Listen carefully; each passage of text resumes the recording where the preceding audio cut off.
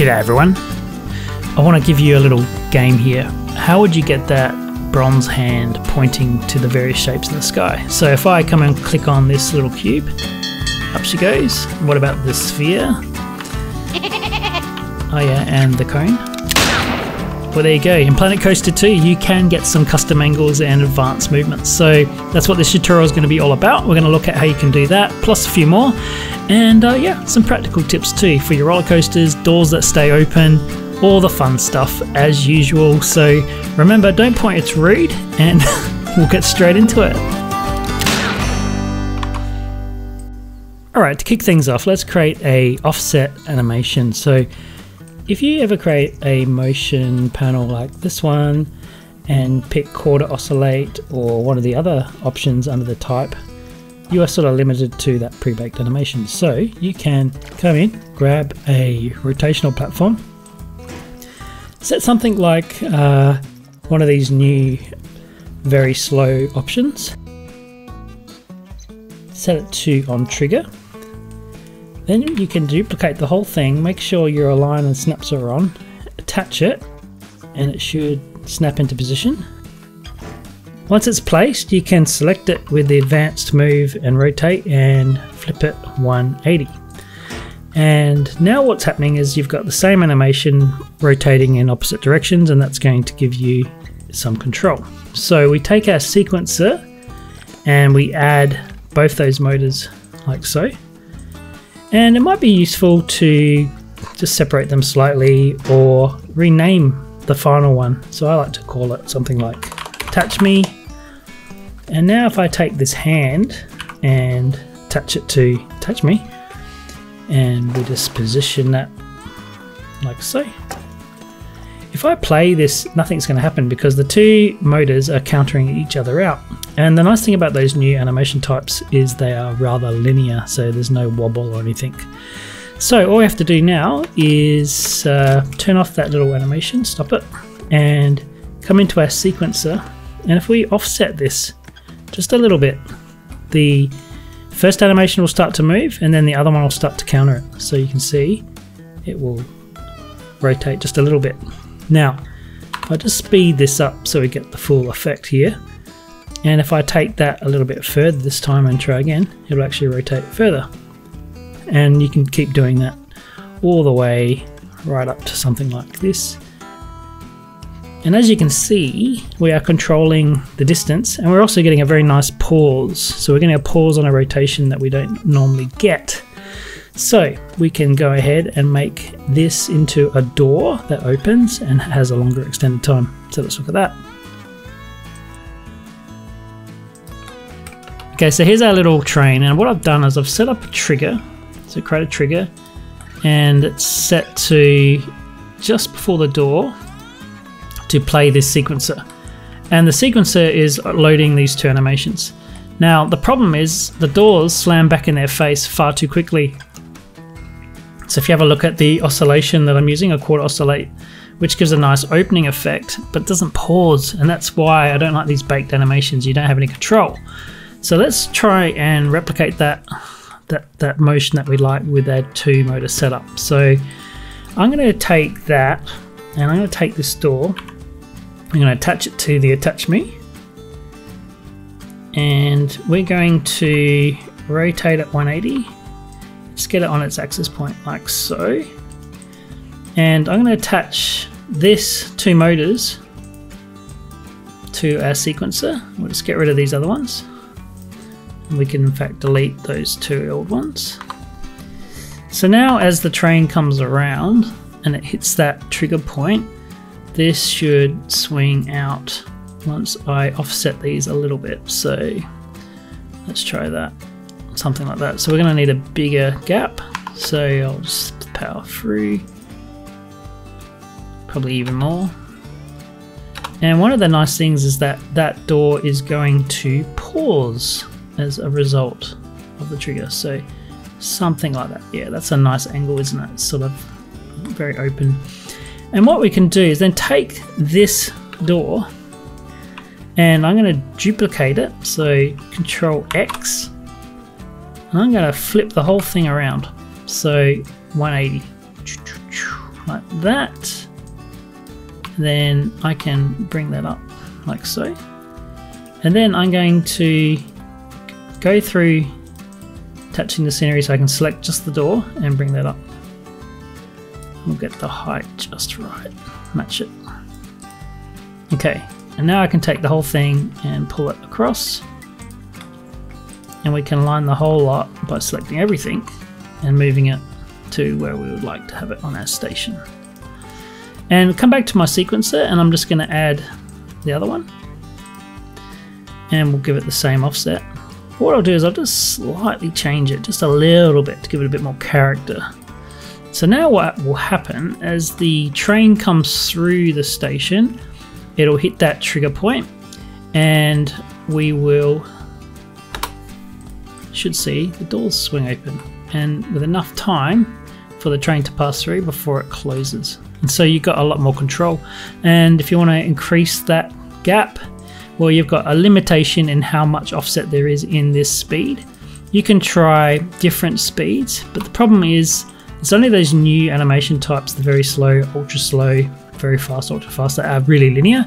If you use something like slow, fast, or medium, you can still get the same effect, but because it's not a linear animation, it sort of sort of moves around a little bit, and that was some of the trouble I've had in the past. But yeah, these new ones give us a lot more control. So I think for slow, this kind of thing, a door anyway, it works works quite well. Let's go another go. Okay, there you go. Custom door with a pause. Well, not every door has to be a hinged door. You could have sliding doors and whatnot, but you can also create some interesting things with these uh, offset animation. So if I take our bundle delete that, and we get like a piece of art, like maybe a triangle shape might be the way to go, or even just a square. I'll go with a triangle just to show you what that looks like, and attach it to our touch me, and we will just put it out here somewhere. And I want to line that up actually a bit better. So it's going to rotate like so. And we can just get it aligned like that. And then we can take a scenery, uh, sorry, a sequencer and attach it like so. And just test this. So we'll go about there and then that should rotate out like that. Yep. And then I'm going to take this and duplicate it and rotate it 180. So I'll, actually I'll put my snap on.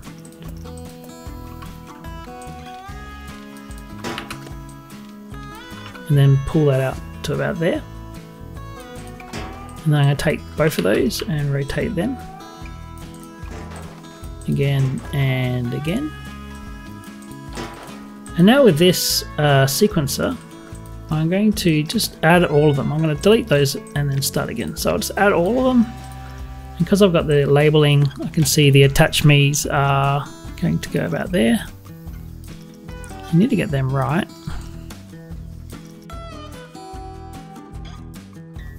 And once they're all lined up, basically made like a little spaceship portal. Sometimes if you zoom in, it's easier to do this, but uh, I'll just do that for now with the actual editor. Okay, and if we press play, should get a cool um, portal effect like so. Yeah, that looks cool. All right, so and then if you want to, you can color these differently and whatnot. But I like to put a pipe or something around there. So we'll grab a pipe, something like that, and put it in the center. So we'll just move that around. And uh, Barry, well actually we'll rotate the whole lot, how about that? Like so. And move the pipe in. See what our little little door looks like now. And obviously you cover all that up with some other scenery. There you go little portal. That's cool. And yeah, you can sequence that for rides and roller coasters to go through or whatever else you want to do. So that's your way, a way to do a, another type of door using these paused rotations. So what else can you do with offset animation? So this time I've got the same setup, but instead of a door, just a pink uh, piece of heart shape. And I've using the oscillate medium animation on both the triggers, or the motors rather. And if I hit play on this, you're going to see it just wobbles back and forth. And that's because of the offset. So I can decrease that offset and get a little wiggle. And that works quite nicely. Um, or I could create a bigger one and that'll give me the same thing. So try that again, much bigger. So it's pretty fin uh, finicky, you gotta figure it out, but that's how I've made a lot of my more complicated animations, just figuring out different combinations. So what you can do with something like that is you can duplicate the whole lot, then come back and move it and then attach it to the attach me. And uh, then I'm gonna just line it up, something like that. And with my sequencer, I'm going to add the new lot. And so if we come back here and just to rearrange these and try different combinations, we can get some really interesting motions. So here's a bit of a insight to how I created my fish animation. So if you haven't seen my aquatic uh, video, check those out. But you can see the fish swaying back and forth. And um, yeah, you can create multiple sections and attach scenery and once you've got something like that, it is actually quite easy to come in and attach scenery, right? So you could create a wiggly caterpillar on the ground and you'd be wobbling around.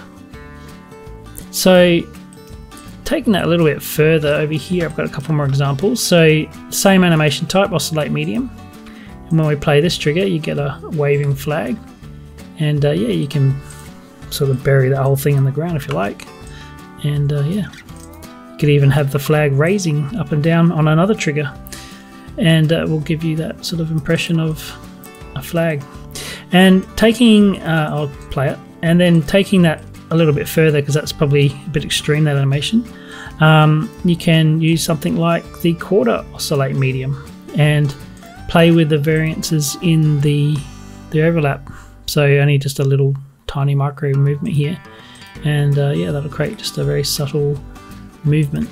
Again used for fish or anything else that needs to wriggle along like a flag. So yeah just by experimenting with the variety of offsets that are available you can add a whole new range of animation. So hopefully that's useful.